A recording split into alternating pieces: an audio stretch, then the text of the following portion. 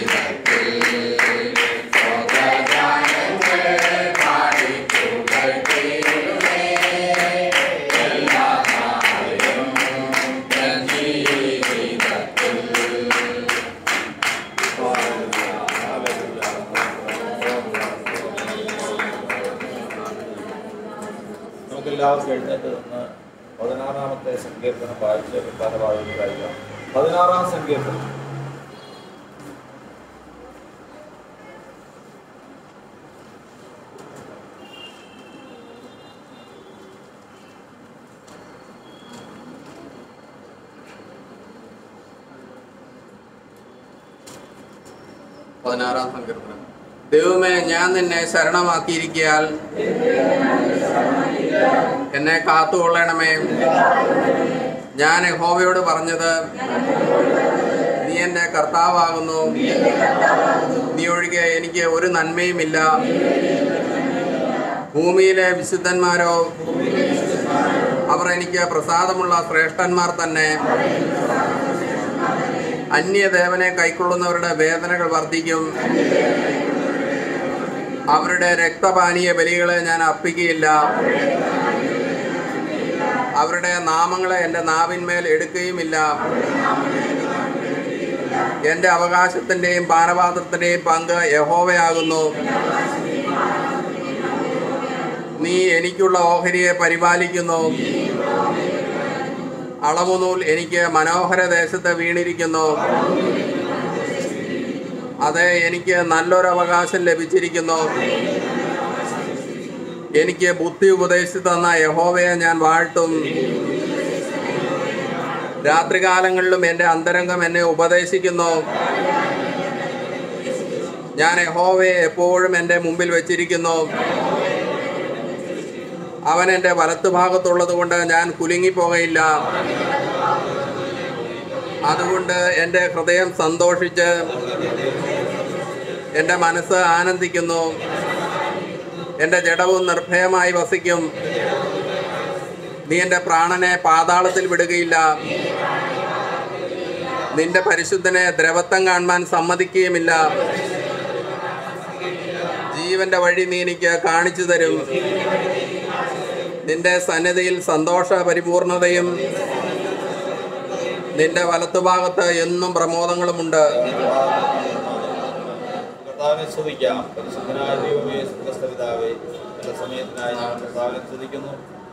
ഞങ്ങളെ ഈ സമയം വരെ നടത്തിയ ദൈവം ഈ ആരാധനയിൽ ഞങ്ങളോടൊപ്പം ഉള്ളതുകൊണ്ട് സ്തോത്രം. ഞങ്ങൾ പോകേണ്ടുന്ന വഴികളിൽ ഞങ്ങളെ നടത്തുന്ന ദൈവം. കരുതാത്ത വഴികൾ നോക്കി ഞങ്ങൾ കൂടുതൽ തന്ന് ഞങ്ങളെ കർത്താവ് ശരീരം എത്തിക്കുന്ന കർത്താവ്. ഈ സമയത്ത് വിശ്വസനായി ഞങ്ങളോടൊപ്പം ഉള്ളതുകൊണ്ട് കർത്താവിനെ ശ്രദ്ധിക്കുന്നു. കടന്നു ഏവർക്കുമായി കർത്താവിനെ ശ്രദ്ധിക്കുന്നു. എല്ലാവരോടും കർത്താവ് കൃത്യമായിട്ട് ഇടപെടണം.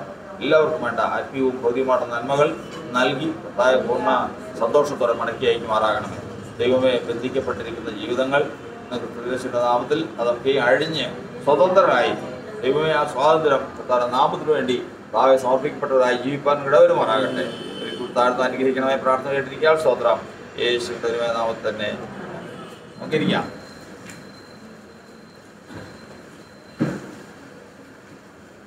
കർത്താവിന്റെ പരിശുദ്ധ നാമത്തിന് മഹത്വമുണ്ടാകുമാറാകട്ടെ.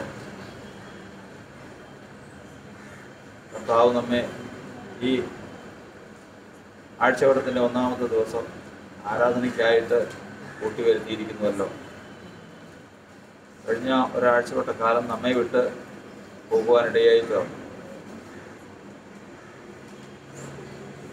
നമ്മുടെ ആയുസ് ഒരാഴ്ച കൂടി കഴിഞ്ഞു പോയിരിക്കും. നമ്മൾ അതിനകത്ത് പഠിക്കുന്ന പോലെ ജ്ഞാനമുള്ള ഒരു ഹൃദയം പ്രാപിക്കേണ്ടതിന് ഞങ്ങളെ നാളുകളെ എണ്ണുവാൻ നീ ഞങ്ങളെ പഠിപ്പിക്കണം. മനുഷ്യനിൽ മനുഷ്യന്റെ ഏറ്റവും വലിയ ജ്ഞാനത്തിൽ ഒന്നാണ് ഞാൻ ആരാണ്? എന്റെ നാളുകൾ ഇത്രയേ ഉള്ളൂ എന്നറിയുന്നവർ. അതുകൊണ്ടാണ് അതറി ആ അറിവോടുകൂടി ഒരാൾ മരിക്കാൻ ഇനി അല്പകാലമേ ഉള്ളൂ എന്ന് തന്റെ ഭക്തന്മാർക്ക് കർത്താവ് അറിവ് കൊടുക്കുന്നത് അങ്ങനെയാണ്. അവരെങ്ങനെ മരിക്കണം? എങ്ങനെ മരിക്കണം? എങ്ങനെ? പ്രധാനത്തോടെ മരിക്കണം. പറഞ്ഞതനുസരിച്ച്. ജ്ഞാനത്തോടെ മരിക്കണം. അറിവോടുകൂടി മരിക്കണം. ജ്ഞാനഹൃദയത്തോടെ മരിക്കണം. അതുകൊണ്ട് തന്നെ അത് കിട്ടാനായിട്ട് ബുദ്ധിമുട്ടാണ് പ്രയാസമാണ്. എന്റെ ആയുസ് എത്രയുണ്ട് അല്ലെങ്കിൽ ഇനി എത്ര ഉണ്ട് എന്ന് അറിയണമെങ്കിൽ അതെന്തായി എങ്ങനെയായിരിക്കും ഈ രണ്ട് കാര്യങ്ങളാണ് ഒരു ഭക്തന്റെ ജീവിതത്തിൽ ഏറ്റവും പ്രധാനം. ഒന്നേതാ ഇതെങ്ങനെ അവസാനിക്കും? രണ്ട് എത്ര നാളുണ്ട്? ഈ രണ്ട് കാര്യങ്ങളാണ് അറിയുന്നത്. ഇതറിയണമെങ്കിൽ എങ്ങനെ അവസാനിക്കണമെന്ന് അറിയണമെങ്കിൽ എന്ത് വേണം? അപ്പോസലായ പാത്രോസ് കർത്താവിനെ കർത്താവ് വിളിച്ചിട്ട് ഒരുപാട് നാളായി. ഇതെല്ലാം ശുശ്രൂഷകൾ ചെയ്യിച്ചു. ധാരാളം ശുശ്രൂഷകൾ പത്രോസിനെ കൊണ്ട് കർത്താവ് ചെയ്യിച്ചു. ഒടുവിൽ കർത്താവ് ഉയർത്തെഴുന്നേറ്റ് വന്നതിന് ശേഷം ശുശ്രൂഷ പരമേൽപ്പിക്കുക ശുശ്രൂഷ പരമേൽപ്പിച്ചപ്പോൾ കർത്താവ് പറഞ്ഞു പത്രോസെ നീ എന്നെ സ്നേഹിക്കുന്നുവോ? ഈ നിൽക്കുന്നവരിൽ കൂടുതലായിട്ട് എന്നെ സ്നേഹിക്കുന്നുവോ? മൂന്ന് പ്രാവശ്യം ചോദിച്ചു മൂന്ന് ശുശ്രൂഷയും കൊടുത്തു. ആ ശുശ്രൂഷ ഏറ്റുവാങ്ങിയപ്പോൾ കർത്താവ് പറയുകയാണ് നീ യൗവനക്കാരനായിരുന്നപ്പോൾ നീ അര മുറുക്കി നിനക്ക് ഇഷ്ടമുള്ള എടുത്തണം നിന്റെ അര നീ മുറുക്കി നിനക്ക് ഇഷ്ടമുള്ള എടുത്തണം എന്നാൽ നീ വൃദ്ധനായതിനു ശേഷം നീ ശുശ്രൂഷ തികച്ചതിന് ശേഷം മറ്റൊരിടത്ത് നിന്റെ അര മുറുക്കി നിനക്ക് ഇഷ്ടമില്ലാത്തവരടുത്തേക്ക് നിന്നെ കൊണ്ടുപോകി അപ്പൊ അവിടെ എന്തറിഞ്ഞു? ഏ? അവസാനത്തെ അല്ല. അവസാനം എങ്ങനെയാവുന്നത്? എങ്ങനെ ഇത് അവസാനിക്കും അവസാനിക്കുമെന്നുള്ളത് അപ്പോഴും എന്തറിഞ്ഞിട്ടില്ല പറഞ്ഞ? എന്ന് അവസാനിക്കുമെന്ന് പറഞ്ഞില്ല. നാളുകൾക്ക് ശേഷം ശുശ്രൂഷ കഴിഞ്ഞു. ശുശ്രൂഷയൊക്കെ കഴിഞ്ഞപ്പോൾ പത്രോസിന്റെ ലേഖനത്തിൽ നമ്മൾ പഠിക്കുന്ന പ്രകാരമാണ്. എന്റെ കർത്താവ് എനിക്ക് അറിവ് തന്നതുപോലെ എന്റെ കൂടാരം അഴിഞ്ഞു പോകുവാൻ അടുത്തിരിക്കുന്നു. അവിടെ എന്തറിഞ്ഞു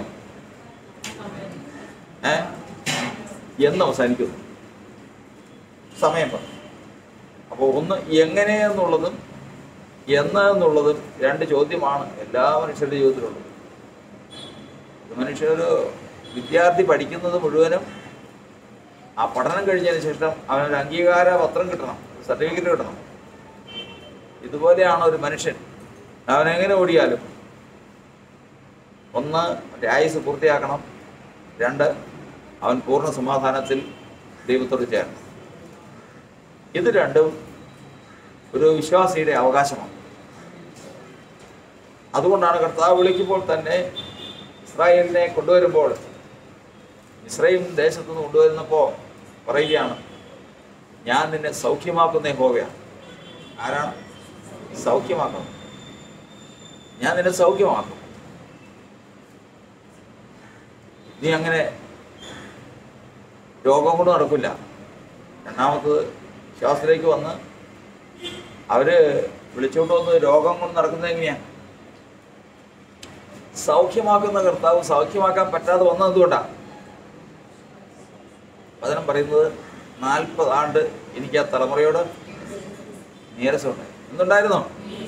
നീരസമുണ്ടായി. ലളിതമായിട്ടല്ലേ പറയണേ മനസ്സിൽ കിടക്കും. പോവില്ല.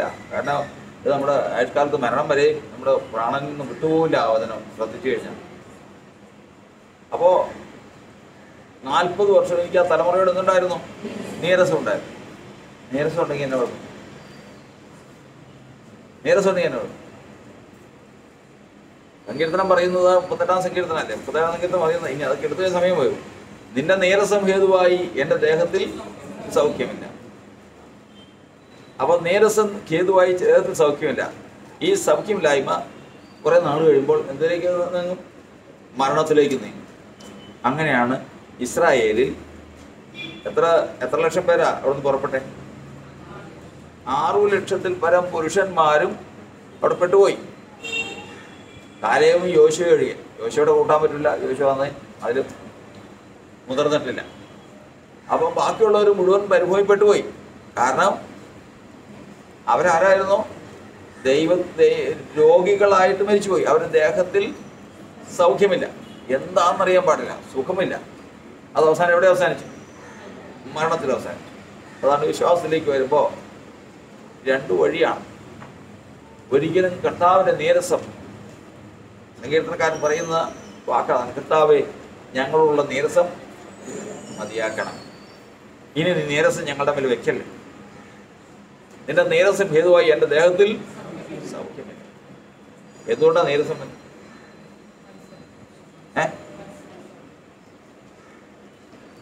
അവർ തെറ്റിപ്പോകുന്ന ഒരു ഹൃദയമുള്ളവരൊന്നും തന്റെ വഴികളെ അറിഞ്ഞിട്ടില്ലാത്തവരെന്ന് ഞാൻ പറഞ്ഞു.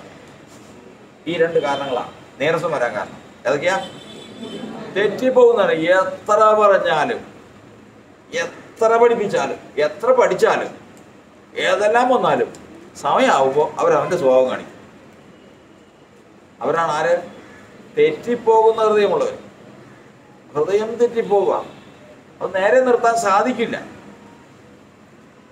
നേരെ നിർത്താൻ സാധിക്കുന്നില്ല എന്ന് കണ്ടു പിന്നെ ഒരിക്കലും ദൈവത്തിന്റെ വഴികളെ അറിഞ്ഞിട്ടില്ല. ദൈവത്തിന്റെ വഴി അറിയാത്തതിന്റെ കാരണം എന്താ? വ്യക്തമായൊരു വഴി അവർക്കുണ്ട്. ദൈവസനിലേക്ക് വന്നു കഴിഞ്ഞാലുള്ള പ്രശ്നമാണ്. അതുകൊണ്ടാണ് പറഞ്ഞത് എന്റെ വഴികൾ നിങ്ങളുടെ വഴികളല്ല. വിശ്വാസത്തിലേക്ക് വരുമ്പോൾ ഏത് ഉപേക്ഷിക്കണം? സ്വന്തം വഴി ഉപേക്ഷിക്കണം. കാരണം സ്വന്തം വഴിയിൽ നടക്കുന്നവന്റെ അവസാനം എന്താ? സ്വന്തം വഴികളിൽ നടക്കുന്നതിന്റെ അവസാനം. നമ്മൾ സദൃശവാക്യങ്ങൾ ഒന്നാം അധ്യായത്തിന്റെ മുപ്പതാം വാക്യമാണെന്ന് തോന്നുന്നു. അത് എഴുതിയിരിക്കുന്ന പ്രകാരമാണ്. വേഗം വായിക്കാൻ വായിച്ചു.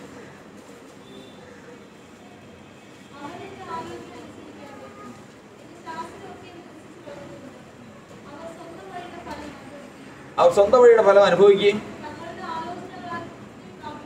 ആ. തീർന്ന തീർന്നോ? ആ തീർന്നോ? ആ അവർക്ക് അവരെ എന്ത് ചെയ്യുന്ന അറിയാം? സ്വന്തം വഴി സ്വന്തം വഴി. അതെല്ലാവർക്കും ഉണ്ട്. എല്ലാവർക്കും. എന്ത് ചെയ്യണം? എന്തെങ്കിലും ഒരു പ്രശ്നം വന്നു കഴിഞ്ഞാൽ എന്ത് ചെയ്യണമെന്ന് എനിക്കറിയാം. ഏത് അതുകൊണ്ട് ആ വഴി എന്ന് പറയുന്നത് ചിലപ്പോൾ ഒരു വഴി മനുഷ്യന് നല്ലതായിട്ട് തോന്നും. അതിന്റെ അവസാനമോ? മരണവഴികളാണ്. അത് മരണത്തിൽ അവസാനിക്കും. എന്നാൽ ദൈവം ഒരു വഴി കാണിച്ചു തരും. അതുകൊണ്ടാണ് കാത്തിരുന്ന് അവന്റെ ആലോചന അത് കാത്തിരിക്കണം. ആ വഴി എന്ന് പറയുമ്പോൾ ബുദ്ധിക്ക് ഒതുങ്ങുന്നതല്ല. ബുദ്ധിക്ക് ഒതുങ്ങുന്നതല്ല.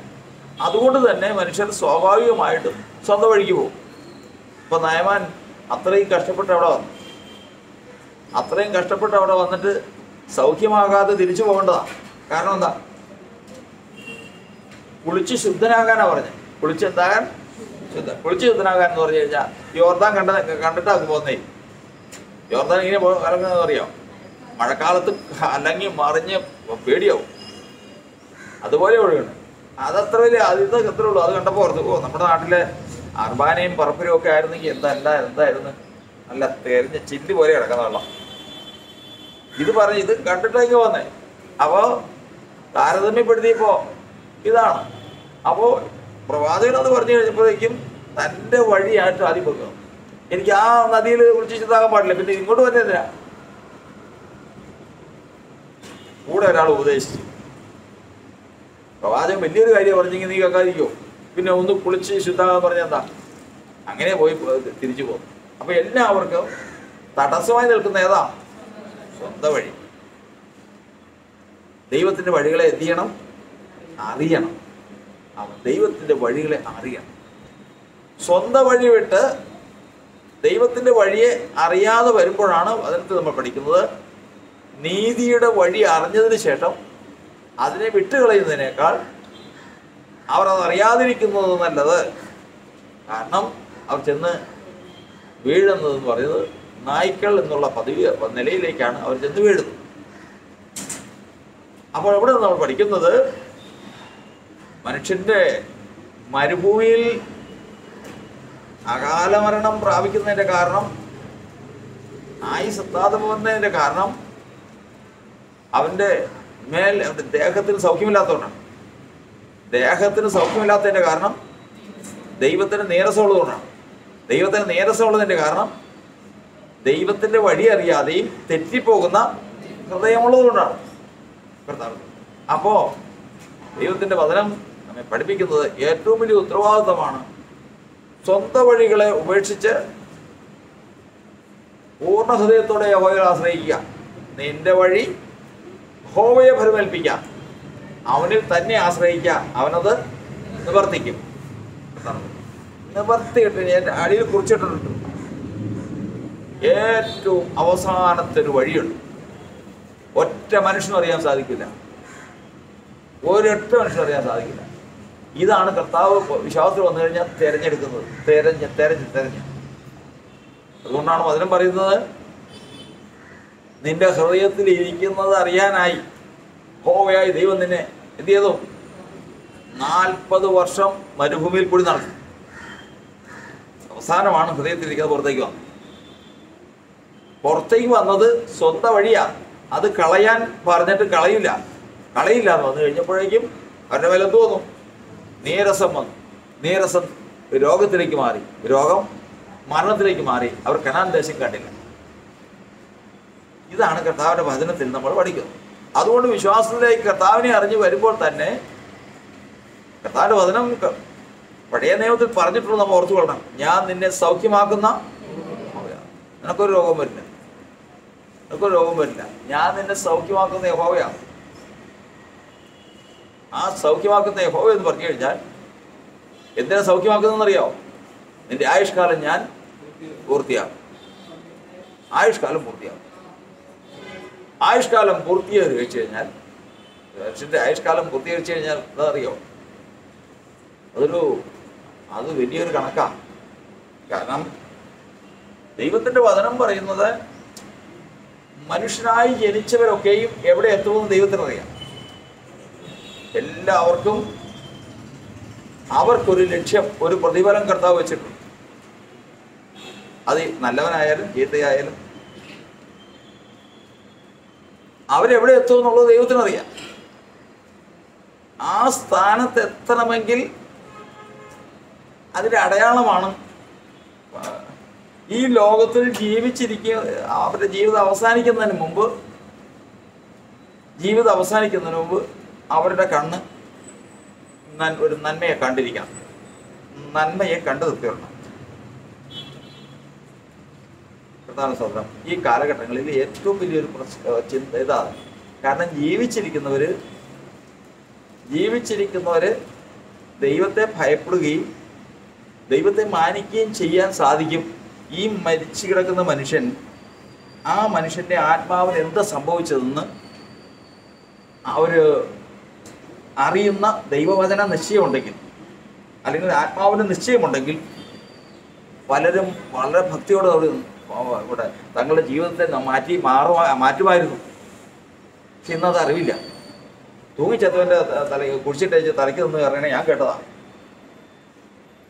ഇവൻ സ്വർഗത്തിലുണ്ടാവുന്ന ഞാൻ എഴുതി വെച്ചു തരാം ഒരു ശുശ്രൂഷൻ പറഞ്ഞാൽ നിങ്ങളെല്ലാം അറിയാവുന്ന നിങ്ങൾക്ക് വേണ്ടപ്പെട്ട ഒരു ശുശ്രൂഷനാ പറഞ്ഞു അതൊന്നും ആളൊന്നും ഞാൻ പറയുന്നു അപ്പോൾ എഴുതി വെച്ചു തരാം അറിയോ ഏറ്റവും ഹീനമായ മരണമാണ്. ഏത് മരണം? ഏ തൂങ്ങിച്ചത്ത മരണം എന്തുകൊണ്ടത്? മനുഷ്യന് ജീവൻ കൊടുക്കുന്നത് നാല് വായുക്കളാണ്. ആത്മാവ് ജീവിപ്പിക്കുന്നുവെങ്കിലും അത് പ്രവർത്തനത്തിലേക്ക് കൊണ്ടുവരുന്നത് നാല് വായുക്കളാണ്. നാല് അതിങ്ങനെ പറയണ്ട. വചനം പറഞ്ഞാൽ മതി. നാല് കാറ്റാണ്. ഈ നാല് കാറ്റിന്റെ ചലനമാണ്. അത് വിശ്വാസത്തിലേക്ക് വരുമ്പോൾ ജാതികളുടെ ഇടയിലുള്ളവർക്കൊക്കെ അറിയാം. നാല് വായുക്കളുടെ പ്രവർത്തനം അറിയാലോ. ശരി വരുമ്പോഴത്തേക്കും ഇങ്ങനെ ഈ ഗ്യാസും പ്രശ്നങ്ങളും ഒക്കെ വരുന്നതിന്റെ കാരണങ്ങൾ ഈ വായുക്കളുടെ പ്രവർത്തനമാണ്. എല്ലാവരും അതും കേട്ടിട്ടുണ്ട്. ജാതികൾ ആയുർവേദത്തിലൊന്നും കേട്ടിട്ടില്ലേ? പ്രാണൻ അപാനൻ ഉദാനൻ വ്യാനൻ നാല് വായ്ക്കളാണ്. ഈ അതിന്റെ പ്രവർത്തനമാണ്. ഏതോസം പറയുന്നതാ ജീവനെ കൊടുക്കേണ്ടതിന് എന്ത് ചെയ്യണം? ആകാശത്തിലെ നാല് കാറ്റിനോട് പ്രവചിക്കാനാ പറയുന്നത്. ഈ നാല് കാറ്റാണ് നമുക്ക് എന്ത് വരുന്നത്? ആ, ജീവൻ. ആത്മാവ് ഒന്ന് ജീവിപ്പിച്ചതിന് ശേഷം ഈ നാല് കാറ്റാണ് നമ്മുടെ പ്രവർത്തനങ്ങൾ കാണുന്നത്. ഇത് കഴുത്ത്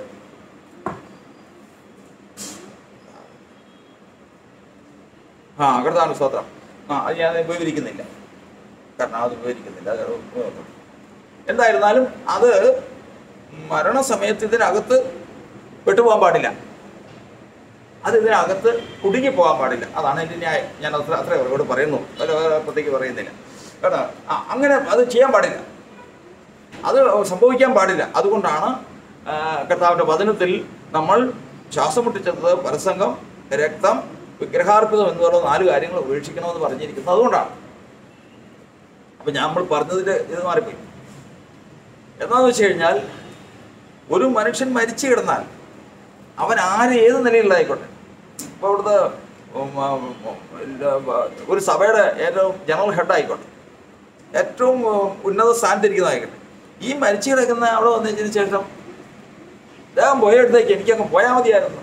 ഇടിക്കുമ്പോൾ നിലവിളി ചോദിക്കുമ്പോൾ പറയണ അദ്ദേഹം പോയാൽ എങ്ങോട്ടാണെന്നറിയാം വചനത്തിൽ അനുദിച്ചുകൊണ്ട് ദൈവത്തിന്റെ വചനപ്രകാരവും ദൈവത്തെ വചനം ആത്മാവിൽ ഗ്രഹിച്ചിട്ടുള്ളവർക്ക് ദൈവത്തിന്റെ ആത്മാവിന്റെ പ്രവർത്തനാവസ്ഥ കൊടുക്കും.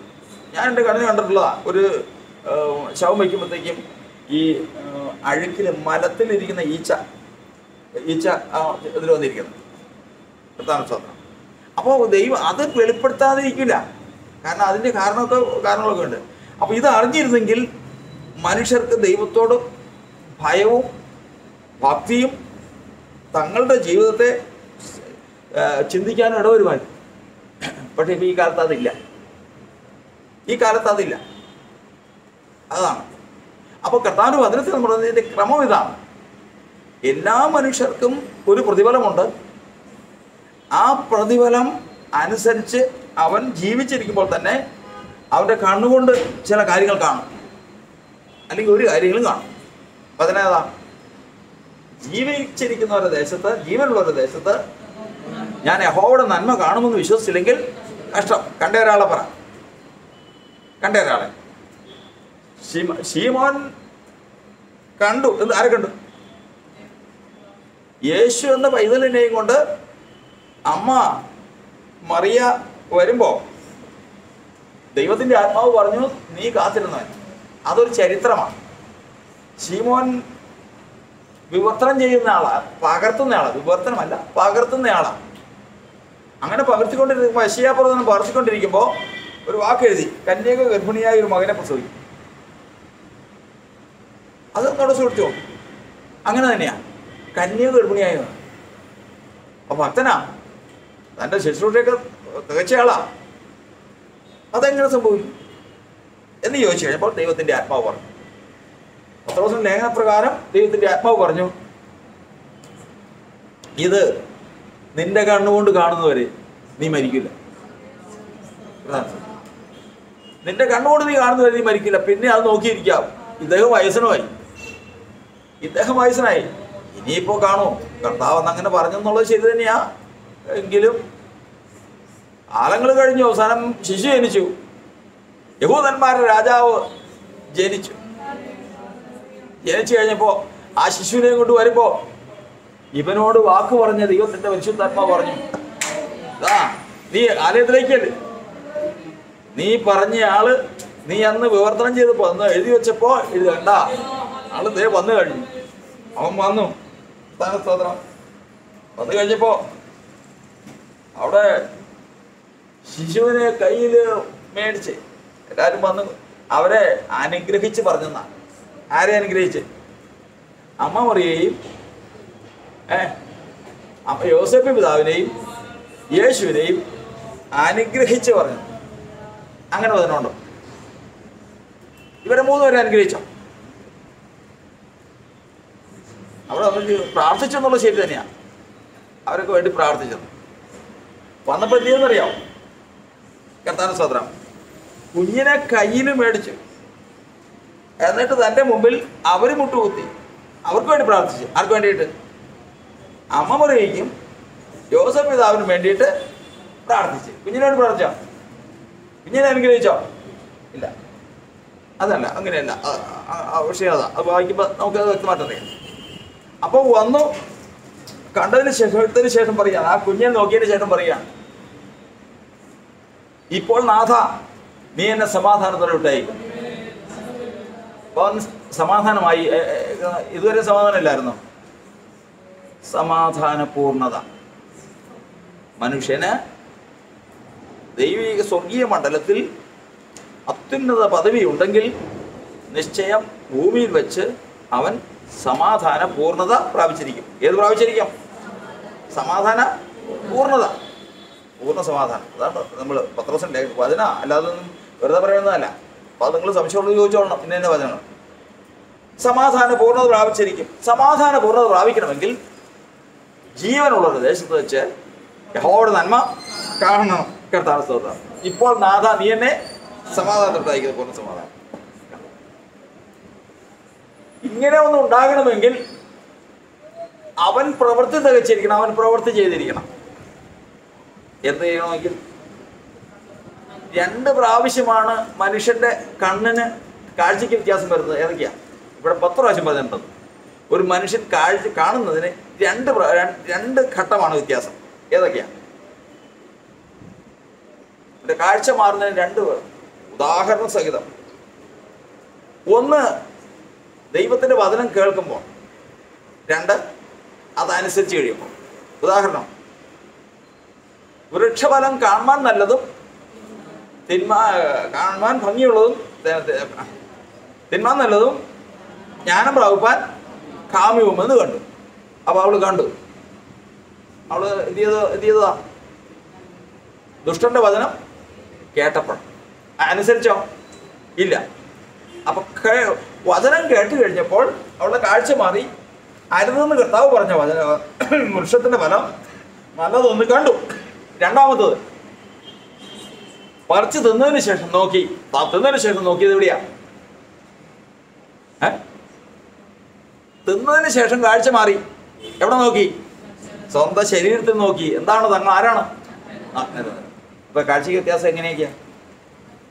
വചനം കേൾക്കുമ്പോഴും അനുസരിക്കുമ്പോഴും. അത് ദൈവത്തിന്റെ വചനമായാലും സാത്താന്റെ വചനമായാലും ഏത് വചനമായിരുന്നാലും കേട്ട് വിശ്വസിക്കുമ്പോൾ ഒരു വാക്ക് ഒരു ഒരു കാഴ്ച അത് കഴിഞ്ഞ് അനുസരിക്കുമ്പോൾ അടുത്ത കാഴ്ച.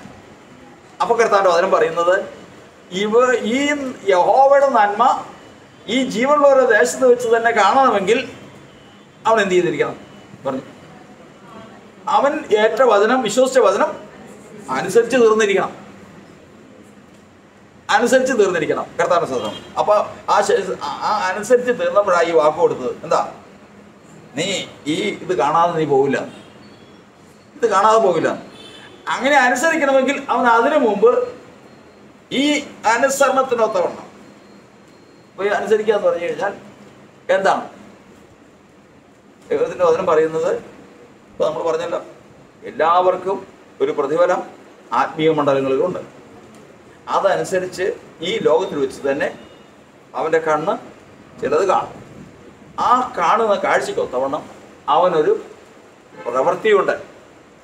ആ പ്രവൃത്തിക്കൊത്തവണ്ണം ആ പ്രവൃത്തിക്കൊത്തവണ്ണം ആ പ്രവൃത്തി എന്ന് പറഞ്ഞു കഴിഞ്ഞാൽ ഏതാ? കർത്താനുസ്തോത്രം നല്ലതായാലും ചീത്തയായാലും.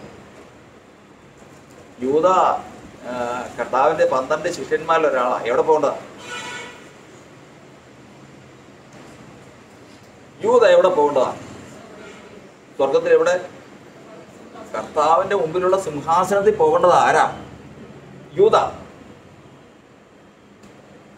സിംഹാസനത്തിൽ പോകേണ്ടതാ. പക്ഷെ ഒരു പുസ്തകമുണ്ട്. ഏത് പുസ്തകം? സത്യഗ്രന്ഥം എന്ന് പറയുന്ന ഒരു പുസ്തകമുണ്ട്. അതായത് ചിലര് വായിക്കില്ലേ? അതായത് ഈ കഥപുസ്തകങ്ങളൊക്കെ വായിക്കുമ്പോഴേക്കും ആകാംക്ഷ കൊണ്ട് കയറുമ്പോൾ ആകാംക്ഷ കൊണ്ട് കൂടി കഴിയുമ്പോഴത്തേക്കും പുറകുവശം മറിച്ചു നോക്കും. ആ തീരണവശം എന്തിനാ ആ ആ- ആരാ? വില്ലനും ഉണ്ട് പിന്നെ നായകനും ഉണ്ട്. എന്താ സംഭവിച്ചെന്നുള്ളതെന്ന് നോക്കും. അപ്പൊ നമ്മുടെ ഈ കാര്യങ്ങളെല്ലാം എവിടെ നോക്കിയാൽ മതി? ഒന്ന് പറഞ്ഞു. സത്യഗ്രന്ഥത്തിൽ നോക്കിയാൽ മതി. അപ്പൊ യൂത ഇപ്പൊ സ്വർഗം എല്ലാവരും പറയുന്നത് പന്ത്രണ്ട് ശിഷ്യന്മാരിൽ ഒരാളാണ് യൂത. അവൻ എവിടെ പോകും ഏ എന്താ ബഹുമാനം? അവൻ സ്വർഗത്തിൽ പോകേണ്ടതാ. കർത്താവിന് മുമ്പ് വലിയ സിംഹാസനത്തിൽ ഇരിക്കേണ്ടതാ. പുസ്തകത്തിൽ എഴുതി വെച്ചേക്കണം അങ്ങനെയല്ല. ഏതാ? അവൻ പോണ സ്ഥലം മോശം സ്ഥലം മോശ. ആ പോണ സ്ഥലം ഏതാ? കർത്താവിന് അയ്യോ ഈ പോകുന്ന ഇതൊന്നുമല്ല അവൻ പോകേണ്ട സ്ഥലം. ഒന്നിന്റെ ഇരുപത്തിനാല് വായിച്ചേ അപ്പസ്മോളത്തെ വന്നിട്ട് ഇരുപത്തിനാല്. ആ.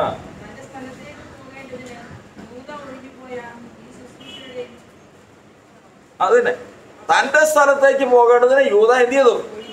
ഒഴിഞ്ഞുപോയി കാരണം ഇവിടെ ഇരുന്ന് കഴിഞ്ഞാൽ ഇവിടെ ഇരുന്ന് അവിടെ പോകാൻ പറ്റില്ല നീ താത്ത വന്നിച്ച് പറയും നീ ഇവിടെ ഇവിടെ യൂത്തിരുന്നാലേ നിനക്ക് വെച്ചിരിക്കുന്ന സ്ഥലം വേറെയാ. അവിടെ പോകാൻ പറ്റില്ല അവിടെ പോകണമെങ്കിൽ വേറെ പണിയുണ്ട്. എന്ന് ഇത് ചെയ്യണം ഇനി? ഇതെല്ലാം പണികളാണ് കിടക്കണേ. ചെല്ലണം കർത്താനെ കാണിച്ചു കൊടുക്കണം. ആ ആ കാശ് വെച്ചുകൊണ്ട് ദൈവത്താഴ് ശുശ്രൂഷ എടുക്കണം. ആ ശുശ്രൂഷ എടുത്തു കഴിഞ്ഞാൽ ഞാനങ്ങ് പ്രവേശിക്കും. ഏതിലേക്കാ? ഏ നിന്നിലേക്ക് അങ്ങ് പ്രവേശിക്കും. പിന്നെ നമ്മൾ ഒരുമിച്ച. എന്തോ ഒരു കൂട്ടായ്മ. പിന്നെ നമ്മൾ ഒരുമിച്ച. സാത്താൻ അവനിൽ കടന്നു. പിന്നെ പോയി ഊങ്ങിച്ചത്തു കർത്താവ് പറഞ്ഞു ആ മനുഷ്യൻ ജനിക്കാതിരുന്നെങ്കിൽ അവന് ആ മനുഷ്യൻ ജനിക്കാതിരുന്നെങ്കിൽ അത്ര ഭയങ്കരമായ ഒരു സ്ഥലത്തേക്കാണ് പോകുന്ന. ഒരു സ്ഥലം അവിടെ ഒരുക്കിയിട്ടേക്കുക അവൻ എവിടെ കയറിയിരിക്കുക? കർത്താവിന്റെ പന്ത്രണ്ട് ശിഷ്യന്മാരിരുന്ന പറ്റുമോ സമയമാകുമ്പോൾ അതുകൊണ്ടാണ് ദൈവസഭയിൽ അങ്ങനെയൊക്കെ നിൽക്കും നിന്നതിന് ശേഷം സമച്ചെറുത് കണ്ടിട്ടുണ്ടോ? സമയമാകുമ്പോ. സമയമാകുമ്പോ എന്താ കാരണം പോയത്? എന്താണ് വിഷയം? ഏത് വിഷയത്തിന്മേലാണ് ക്രമീകരണം വേണ്ടത് ഒന്നുമില്ല എനിക്കിപ്പോൾ ഇതാ നല്ലതായിട്ട് തോന്നണേ. ആ. നാളെയോ? നാളെ വെള്ളിയാഴ്ചയല്ലേ കുഴപ്പമൊന്നും പിറ്റേ ദിവസം വെള്ളിയാഴ്ചയായിരുന്നു. ചോദിച്ചത് വ്യാഴ്ചയായിരുന്നു നാളെ വെള്ളിയാഴ്ച. അപ്പം പിന്നെ അവനോട് പറഞ്ഞിട്ട് കാര്യമില്ല. അപ്പ് നാളെ എന്ന് പറഞ്ഞാൽ ഭാവിയിൽ എന്തായി തീരുമെന്ന് ചോദിച്ചത് അപ്പോൾ അവൻ പറഞ്ഞു പിറ്റേ ദിവസം വെള്ളി- വ്യാഴാഴ്ച ചോദിച്ചേ. ഇപ്പോൾ വെള്ളി ആ നാളെ വെള്ളിയാഴ്ചയല്ലേ സാറല്ല പിന്നെ അവനോട് പറഞ്ഞിട്ട് കാര്യമില്ല. കാരണം എന്താ? ഇവിടെ ഇരുന്നാൽ അവൻ പോകേണ്ടുന്ന ഇത് ഇടത്തേക്കുള്ള കാര്യം നടക്കൂല മറ്റവൻ വന്ന് ഓർപ്പിക്കുക.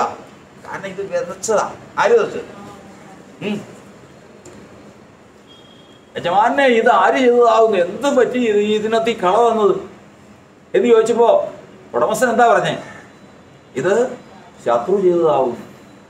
ഇതിനകത്തേക്ക് ആരും പതിക്കും ശത്രുവും പതിക്കും കൃതാർത്ഥത മാനസാന്തരപ്പെട്ട് ഒരാൾ വരുമ്പോൾ മാനസാന്തരപ്പെട്ട ഒരാൾ വിശ്വാസത്തിലേക്ക് സഭയിലേക്ക് വരുമ്പോൾ അവിടെ നോട്ടം ഉണ്ടാവും ആരെങ്കിലും നീതിയിലേക്ക് തിരിഞ്ഞു കഴിഞ്ഞാൽ അപ്പം അവിടെ ദുഷ്ടസിംഹാസനത്തിൽ അറിവ് ചെല്ലും. ദുഷ്ടസിംഹാസനത്തിൽ അറിവ് ചെന്ന് കഴിഞ്ഞാൽ ആരാ പോയെ? പിന്നെ എവിടെന്നാ പോയെ? ആരുടെ കസ്റ്റഡിയിലുള്ള? ഇന്ന ദുഷ്ടന്റെ കസ്റ്റഡിയിലുള്ള ഇന്ന ദേശത്ത് നിന്ന് ആ അകത്തേക്ക് പോയിട്ടുണ്ട്. ആ അവനെ അവൻ തിരിച്ചു തിരിച്ചു വരണം. അവൻ അങ്ങനെ തിരിച്ചു വരണ പാർട്ടിയല്ല അവൻ ഒരു രക്ഷയില്ല. പിടി പിടിച്ചിട്ട് കിട്ടുന്നില്ല. പിന്നെയാണ് ഏറെ പെട്ടെന്ന് ഒരാൾക്ക് ഭയങ്കര കടം. ഒരാൾക്ക് പിന്നെ ഹാർട്ടിന് ചില പ്രശ്നങ്ങൾ ഒക്കെ ആയിട്ട് അവിടെ ഇവിടെയൊക്കെ പോയി ഇണക്കും. ഒരു രണ്ടോ മൂന്നോ എണ്ണത്തിന് എവിടെ നിന്നെങ്കിലും ചെന്ന് ഓ സുഖമില്ലാതെ ഒരു ഒഴിവാക്കി പ്രാർത്ഥിക്കണമെന്ന് പറഞ്ഞ് വന്നു കഴിഞ്ഞപ്പോഴത്തേക്കും കടം മാറി കടം മാറി നെഞ്ചുവേദന മാറി പ്രശ്നങ്ങൾ തീർന്ന് സമാധാനക്കേട് മാറിയിട്ടാണ് നല്ല സുഖമായിട്ട്. ഇവിടെ യഥാർത്ഥത്തിൽ പുസ്തകത്തിലില്ലാത്ത ആരും ഉണ്ടെന്നാ ആരും ഉണ്ടെന്നാ ശത്രു കൊണ്ടുവന്നതാ. ശത്രു കൊണ്ടുവന്നതാ. അവിടെ അവന്റെ അവരുടെ ഉത്തരവാദിത്തം തന്നെ ഇവരുടെ ഉത്തരവാദിത്തം തന്നെ വേറെ ഒരു കാര്യമല്ല ഒരുത്തൻ മുമ്പാങ് കയറി പോയിട്ടുണ്ട് അവനെ എങ്ങനെയും പുറത്തു കളയണം ഇനി അവനെ തകർത്ത് കളയണം. അതുകൊണ്ടാണ് വചനം പറയുന്നത്. കർത്താവേ എന്നെ പിന്തുടരുന്നവരുടെ കാൽ എന്നെ പിന്തുടരുന്നവരുടെ വഴി അടച്ചു കളയണമേ. എന്നെ പിന്തുടരുന്നവരുടെ കാൽ അതായത് വിശ്വാസത്തിലേക്ക് വന്നു കഴിഞ്ഞാൽ യോ പറഞ്ഞു യോവനോട് ഒരാൾ ഉപദേശിക്കുക. യോവനോട് ഒരാൾ ഉപദേശിക്കുന്നത് പ്രകാരമാണ്. നീ ഇനിയും ഭക്തി മുറുകെ പിടിച്ചുകൊണ്ടിരിക്കുക. എല്ലാം പോയി. പത്ത് മക്കളുണ്ടായിരുന്നു പോയി. പത്ത് മക്കളുണ്ടായിരുന്നു പോയിട്ട് വസ്തുവും മുഴുവൻ പോയി. ഉടുത്തുണി പോലും ഇപ്പൊ ഇല്ല. അണ്ണവന് സ്വാതന്ത്ര്യം പറയും. എന്താ കാര്യം തന്നെ കർത്താവ് സ്വതന്ത്രം അപ്പൊ പോയി. പിന്നീട് ആ ഭാര്യ പിന്നീട് ആ ഭാര്യയെ കാണുന്ന എവിടെയാ? പിന്നീട് ആ ഭാര്യയുടെ സ്വഭാവത്തെ അതിനെ അതിനെഴുതിയിരിക്കുന്നതാ എന്റെ ശ്വാസം എന്റെ ഭാര്യയ്ക്ക് അറപ്പാകും. ഇവനത്ര അത്ര വെറുപ്പാ. ഏതെങ്കിലും തരത്തിൽ ഇവനെ ഒന്ന് തെറ്റിക്കണം. ഈ ഒറ്റ കാര്യം അതിനുള്ളൂ. യൗവനത്തിൽ വിവാഹം കഴിഞ്ഞ് വന്നതാ. വിവാഹം കഴിഞ്ഞ് വന്ന് വേറെ ആരെങ്കിലും പിടിച്ചാൽ കിട്ടും. വേറെ ആരെങ്കിലും പിടിച്ചു കഴിഞ്ഞാൽ കൂട്ടുകാരായിട്ട് വിട്ട് കഴിഞ്ഞാലും രക്ഷപ്പെട്ടു പോകും ഇത് ഒരുവിധപ്പെട്ടവർ രക്ഷപ്പെടില്ല. ഏതാ? ഏ? ഒരുവിധപ്പെട്ടവർ ഭാര്യയായിട്ട് അല്ലെങ്കിൽ ഭർത്താവായിട്ട് വേറൊരു ബന്ധമല്ല ഭാര്യ ഭർത്തൃ ബന്ധം അതിന് ധാരാളം കാര്യങ്ങളുണ്ട്. ഭാര്യയായിട്ടോ ഭർത്താവായിട്ടോ ദുഷ്ടസിംഹാസനം ഒരാളെ പോയ വഴിക്ക് പിറകെ പറഞ്ഞു വിട്ട് അത് ആലോചനയൊക്കെ വന്ന്. നോക്കി കഴിഞ്ഞപ്പോഴത്തേക്കും എല്ലാം കൊണ്ടും കൊള്ളാം കുഴപ്പമൊന്നുമില്ല. പിന്നെ നമ്മൾ തന്നെ മാത്രം പറയണേ ദൈവത്തിന്റെ ആലോചന. ദൈവത്തിന്റെ ആലോചനയാണോ എന്ന് പറഞ്ഞു കഴിഞ്ഞാൽ ദൈവം അരുതെന്നും പറഞ്ഞിട്ടില്ല. എന്തെങ്കിലുമൊക്കെ സമാധാനിച്ച് കാര്യങ്ങൾ അങ്ങ് നടക്കും. കല്യാണമൊക്കെ കഴിഞ്ഞു. കഴിഞ്ഞതും സത്യത്തിൽ സത്യത്തിൽ ഇവൻ വിശ്വാസത്തിലേക്ക് വന്നു അല്ലെങ്കിൽ ഇവൾ വിശ്വാസത്തിലേക്ക് വന്നതിന്റെ പിന്നാലെ കയറ്റി വിട്ടതാ. നീ ഇന്നെടുത്ത് പിടിച്ചു അതായത് പണ്ട് ഒരു ചൊല്ലുണ്ട് കോട്ടയത്ത് വെച്ച് നിന്നെ കിട്ടിയില്ലെങ്കിൽ കുമളിയിലിട്ട് പിടിച്ചോളാം. എന്ന് പറഞ്ഞതുപോലെ ഇവിടെ കിട്ടിയില്ലെങ്കിൽ വിവാഹബന്ധത്തിലിട്ട് പിടിച്ചോളാം. അവിടെ ആവും വേണ്ടല്ലോ. അവിടെ ആകുമ്പോൾ ഒരുവിധപ്പെട്ടതൊക്കെ. കാരണം മിണ്ടില്ല. മിണ്ടാൻ പറ്റില്ല. കാരണം മിണ്ടി കഴിഞ്ഞാൽ മിണ്ടി കഴിഞ്ഞാൽ ഒരു വീട്ടിൽ വഴക്കാ. മിണ്ടില്ല. എന്താ കർത്താന്റെ ദാസനെ മിണ്ടാത്തെ? ഇത്രയെല്ലാം ഏട്ട് കർത്താൻ ദാസന് ഒരു വാക്ക് പറയാൻ പാടില്ലേ? കരയുക. എന്തിനാ കരയണേ? ആദ്യമേ തന്നെ പുസ്തകം എടുത്തോണ്ട് മുമ്പ് വീട്ടിൽ കാര്യങ്ങൾ പറഞ്ഞ് നടത്താൻ പഠിക്കണം. അവസാനം ചോദിച്ചു ചോദിച്ച് കാര്യം പറഞ്ഞു. ഇനി എന്നോട് സൂക്ഷിച്ച് സംസാരിച്ചില്ലെങ്കിൽ അവരുടെ ഇളയ കൊച്ചുണ്ട് അതിനെ എടുത്ത് അടുപ്പിലിടുന്ന പറഞ്ഞു. അയ്യോ വേറെ എന്ത് ചെയ്യാ വേറെ എന്ത് ചെയ്യാനല്ല ഇതിന് എന്ത് ചെയ്യാൻ പോവാ? നമ്മൾ കഞ്ഞി വെക്കുമ്പോൾ വിറക് കടുപ്പിൽ വെക്കില്ലേ? അതുപോലെ തന്നെ ഇതിനെ എടുത്തുള്ളൂ എന്ന് പറയാം. അതൊക്കെ വെറും പേടിപ്പില്ല. എല്ലാം അവൾ ചെയ്യും. അവൾ ചെയ്യും. കല്യാണം കഴിഞ്ഞ് കുറച്ച് ദിവസമാണ് എനിക്ക് മനസ്സിലായതാ. അത് കാരണം ഞാനിപ്പോൾ ഉണ്ണില്ല മിണ്ടിക്കഴിഞ്ഞാൽ പ്രശ്നമാണ് ആരാ? ആരാ? ഇവർ ഇവരെ ഇവരുടെ പേരാണ് ആര്? മറന്നു പോരുത് പിന്തുടരുന്നവർ. ആര്? പിന്തുടരുന്നവർ. അതിനൊക്കെ എടുത്ത. ഇപ്പൊ ഞാൻ അതിലൊന്നും ശുശ്രൂഷിക്കേണ്ടത് അതിലും വന്നതല്ല. പിന്തുടരുന്നവര്. അതായത് ദാവിദിനെ പിന്തുടരുന്നവരുടെ അതേ അറിയാവോ? കൂടെ വന്നത് യോവാബ് എന്ന് പറഞ്ഞ വരുത്തൻ അപ്നാരനെ ശൗലിനെ പിന്തുടരുന്നവര്. ഓരോരുത്തരും ഓരോരുത്തരുടെയും ചരിത്രം നമ്മൾ പഠിക്കണം. അപ്പോഴാണ് ഒരൊറ്റ മനുഷ്യനെയും വിശ്വസിക്കുക. അതായത് ഈ ഉപനിധി കൈക്കലാക്കിയവൻ ഈ മഹാനിധി കൈവശമാക്കിയവൻ ഒറ്റ മനുഷ്യനെയും വിശ്വസിക്കും. സഹോദരൻ. സഹോദരങ്ങളാകട്ടെ അപ്പനാകട്ടെ അമ്മയാകട്ടെ ഭാര്യയാകട്ടെ ഭർത്താവാകട്ടെ ഒരൊറ്റ മനുഷ്യൻ. കുഴപ്പമൊന്നുമില്ല. കുഴപ്പമൊന്നുമില്ല. പക്ഷെ അതിൽ തൊട്ടിട്ടുള്ള കളി വേണം. തനിക്ക് കിട്ടിയതുണ്ടല്ലോ. അതിന് തൊട്ട് ബാക്കിയുള്ള എല്ലായിടത്തോ എല്ലായിടത്തോ എന്നെ വേണമെങ്കിൽ കൊന്നോ? പക്ഷേ പക്ഷേ കർത്താവ് സഹോദരം ഞാൻ അതൊക്കെ ചരിത്രം പറയാൻ തുടങ്ങിയാൽ അതങ്ങ് പോകും. കർത്താവ് ഒരു ദൈവത്തിന്റെ വചനം പറയുന്നത് ഇതിങ്ങനെ ഈ ലോകത്തിൽ ഇവിടെ ഏതെങ്കിലും തരത്തിൽ കൊണ്ടുപോയിട്ട് പിടിച്ച് നേരെ നാട്ടുവിട്ടു ഏതെങ്കിലും തരത്തിൽ. അതിനു വേണ്ടി ഈ ലോകത്തിൽ വെച്ചിരിക്കുക. അപ്പൊ ഇതുപോലെ തന്നെ കർത്താവ് വന്ന് ശിഷ്യന്മാരെയൊക്കെ വിളിച്ചു കൂട്ടി. നല്ല മുമ്പോട്ട് പോവാ. ദുഷ്ടസിംഹാസനം പറഞ്ഞ് നമ്മുടെ ആൾ ആരാ അവിടെ ഉള്ളത് അവിടെ യേശു അവിടെ സഭയുടെ പ്രാരംഭ നടപടികളൊക്കെ ആരംഭിച്ചെന്ന് കേട്ടല്ലോ. നമ്മുടെ ആയിട്ട് ആരാ ഉള്ളത് നമ്മുടെ ആയിട്ട് ഇപ്പം ആരുമില്ല. അതെന്താ ഇല്ലാത്ത? ഒരാൾ വിടണം. ഇന്ന അടുത്ത് ഇന്നയാൾ ഉണ്ട്. അവിടെ ആരെ പിന്തുടരാനായിട്ട് ഒരാൾ പോണം. ആര് പോണം? ഒക്കെ നേരെ നിശ്ചയിച്ചതാ ആരെ പറഞ്ഞു വിട്ടു? കൊണ്ടുപോയി അങ്ങ് വേദിച്ച് കൊണ്ടുപോയി സഭയിട്ട് കൊണ്ടുപോയി വിട്ടു. യൂതായെ കൊണ്ടുവിട്ടു. ചേർന്ന് നടക്കുക. ചേർന്ന് നടക്കുക. ഇങ്ങനെയുള്ള ചിലപ്പോൾ തീഷ്ണത ഉണ്ടാകണ്ടല്ലോ. ഒരിക്കലും വിശ്വസിക്കില്ല.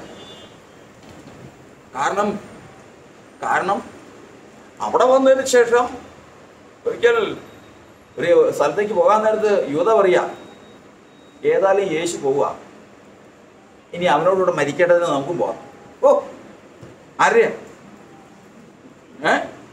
അതായത് പോകുന്നവനേക്കാൾ കൂടുതൽ ഉപ്പിലിട്ടതിനാണോ ഉപ്പിനാണോ ഇത് ഇത് കറ കൂടുതൽ ഉപ്പിനാണോ ഉപ്പ് ഉപ്പിലിട്ടതിനാണോ കാരം കൂടുതൽ ഉപ്പിന് ഉപ്പിനേക്കാൾ വലുത് ആവോ ഇല്ല. പക്ഷെ ചില ചിലപ്പോൾ അങ്ങനെയാണ് ചില സമയത്ത് വരുമ്പോഴത്തേക്കും ഉപ്പിലിട്ടതായി പിന്നെ നല്ല തീക്ഷ്ണതയായിട്ട് വരും. പക്ഷെ സ്ഥലം പോകേണ്ട സ്ഥലം വേറെയാ. അതെവിടെ നോക്കിയാലും അറിയാവുള്ളൂ. ഒന്ന് പറഞ്ഞു. സത്യത്തിൽ നോക്കിയാൽ അതാരും അറിയുന്നില്ല. ആ സമയമായി സമയമായി കഴിഞ്ഞപ്പോഴേക്കും എന്ത് പ്രവർത്തിച്ചു? അവിടെ എന്ത് ചെയ്തു എന്നുള്ള കണക്കൊക്കെ എടുത്തതിന് ശേഷം കാര്യം ചെയ്തു കൊടുക്കാൻ ഹൃദയത്തിൽ ബാക്കി പറ എന്ത് ചെയ്തു? ഹൃദയത്തിൽ സാത്താൻ തോന്നിച്ചു. ഇങ്ങനെയുള്ളവരുടെ ഹൃദയത്തിൽ സാത്താന് ഇങ്ങനെയുള്ള അധികാരമുണ്ട്. ആരുടെ? കളയായിട്ട് ആരെയെങ്കിലും വിതച്ച് സഭയിൽ കൊണ്ടുവന്നു കഴിഞ്ഞാൽ അവരുടെ ഉള്ളിൽ സാത്താന് സ്വാധീനമുണ്ട്. എന്തിനു വേണ്ടിയിട്ട്? മത്തയോ സുവിശേഷം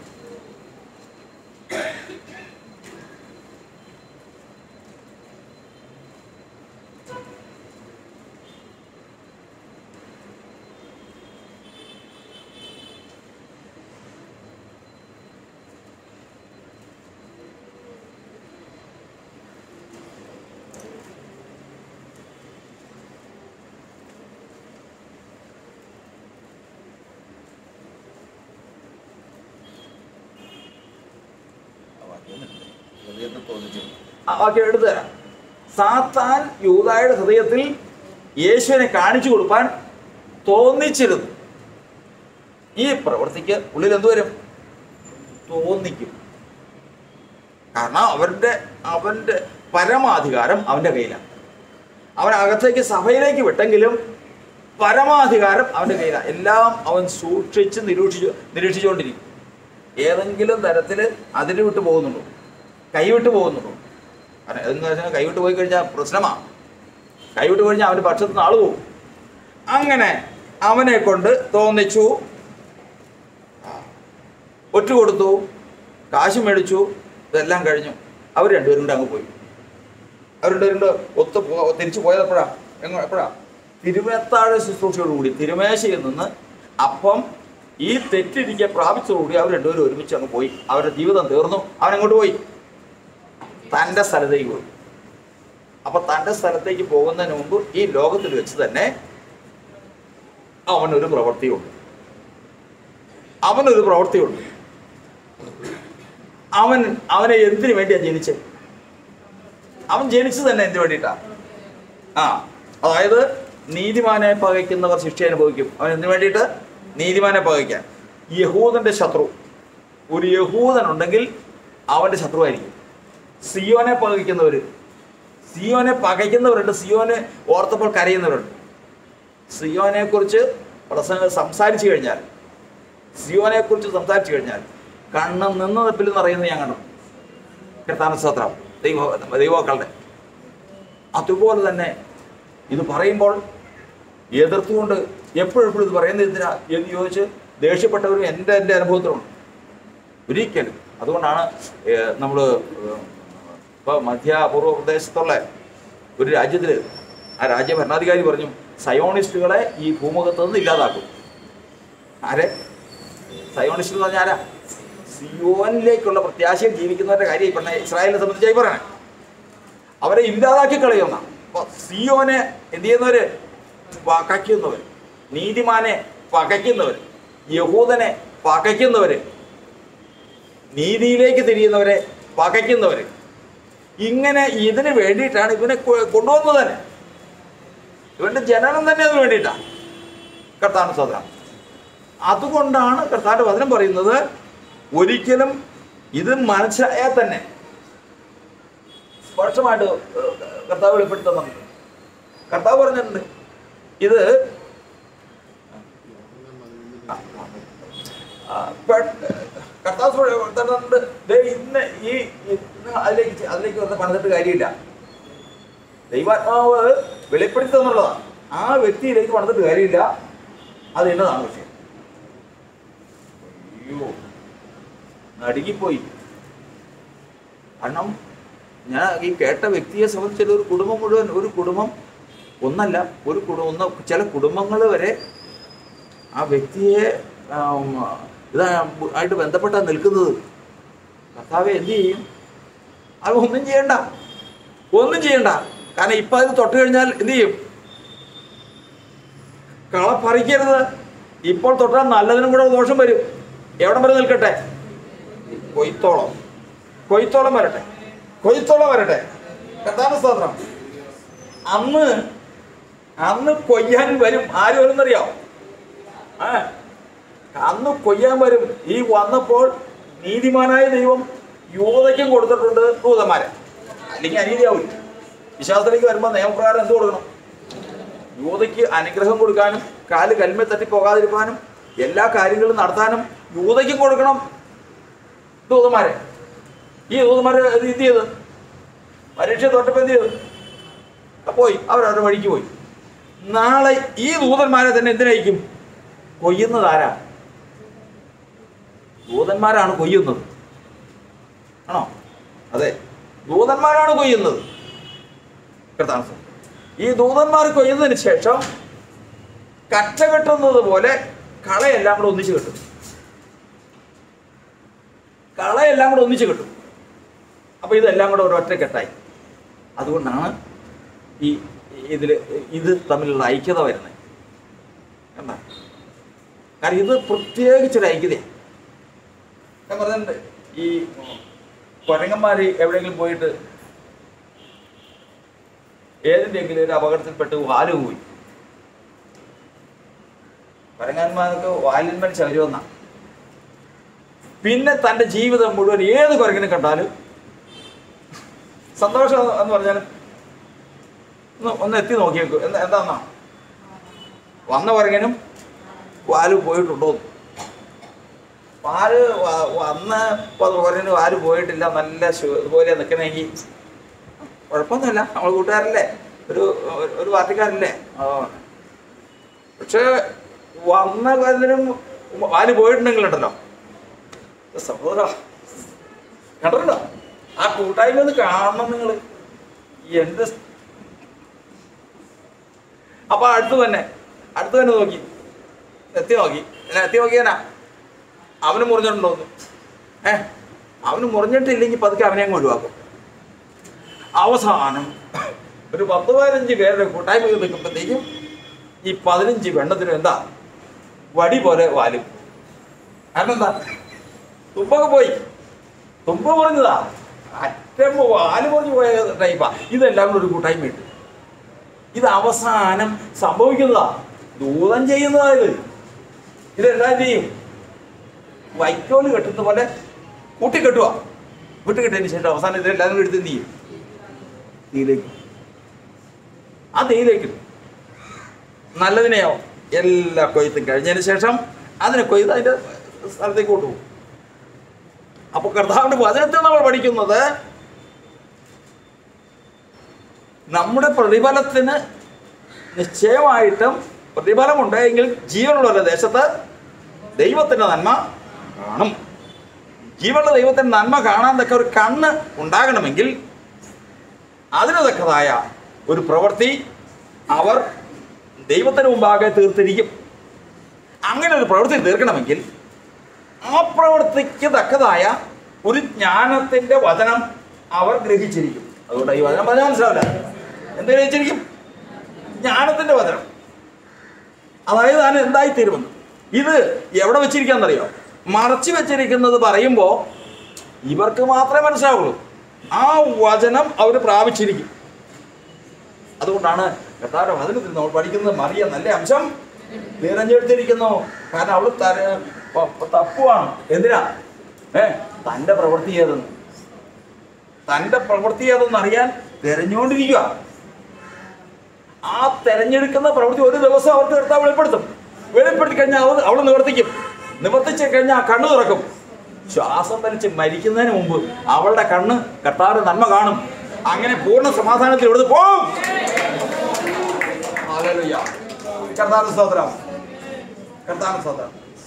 ഇങ്ങനെ വേണമെങ്കിൽ കർത്താവ് സ്തോത്രം ഇങ്ങനെയുള്ള വചനം കിട്ടണമെങ്കിൽ വിശ്വാസത്തിലേക്ക് വരുമ്പോൾ വേറൊരു കാര്യമുണ്ട്. ഏതാ? ഭാവിക്കേണ്ടതിന് മീതെ ഭാവിച്ചുയരാതെ ഉം. വേദം ഭാവിച്ചിടരുത് പിന്നെ എങ്ങനെ ഭാവിക്കേണ്ടത്?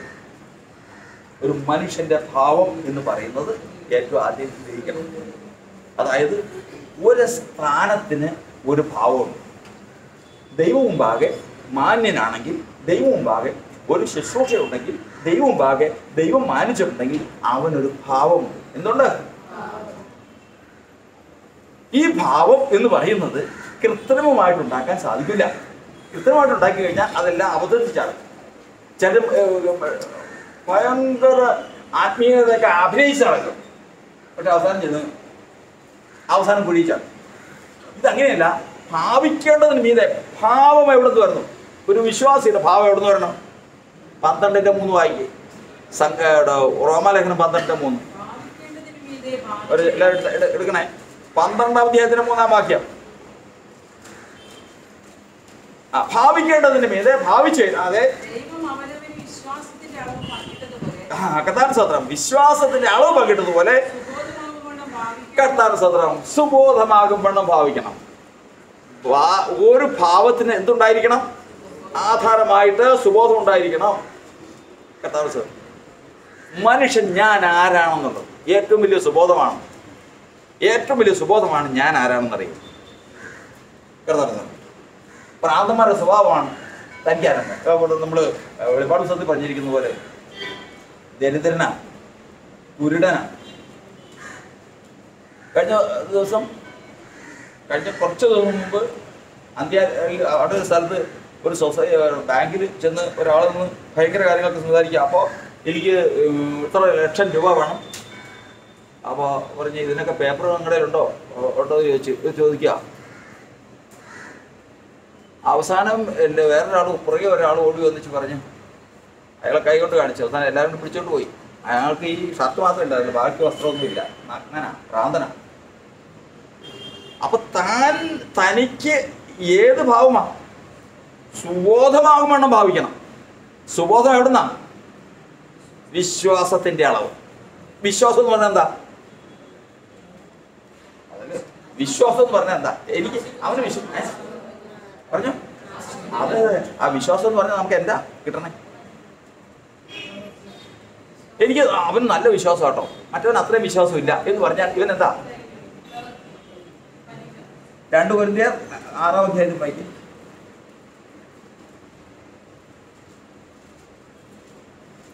ആറിന്റെ നാലിന്റെ പന്ത്രണ്ട്. രണ്ടു കൊരിന്തിയർ നാലിന്റെ പന്ത്രണ്ട് വായിക്കും.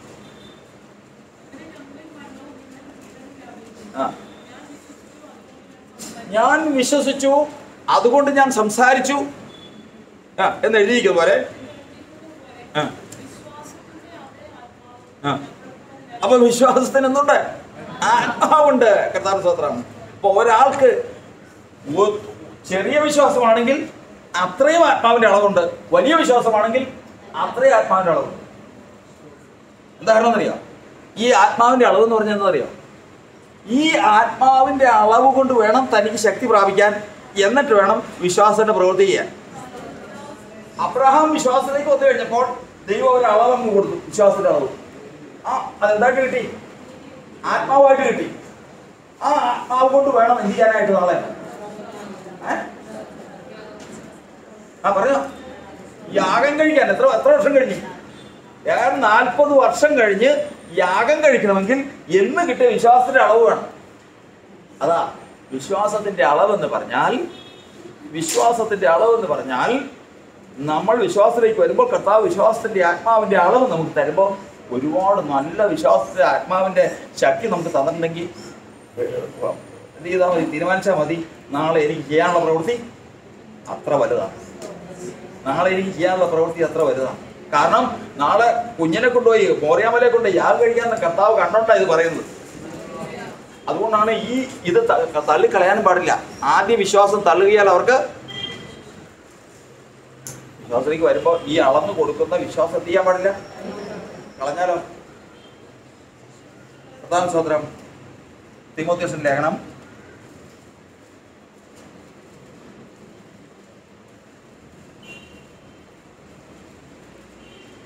ഒന്ന് നിമോദ്യോസ് ലേഖനം അഞ്ചിന്റെ പന്ത്രണ്ട്.